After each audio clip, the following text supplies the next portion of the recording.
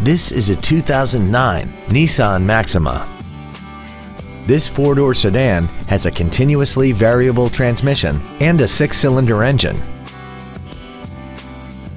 Its top features include dual power seats, air conditioning with automatic climate control, cruise control, a leather-wrapped shift knob, a multi-link rear suspension, variable valve timing, a security system, a low tire pressure indicator, an auto-dimming rear view mirror, and this vehicle has less than 20,000 miles.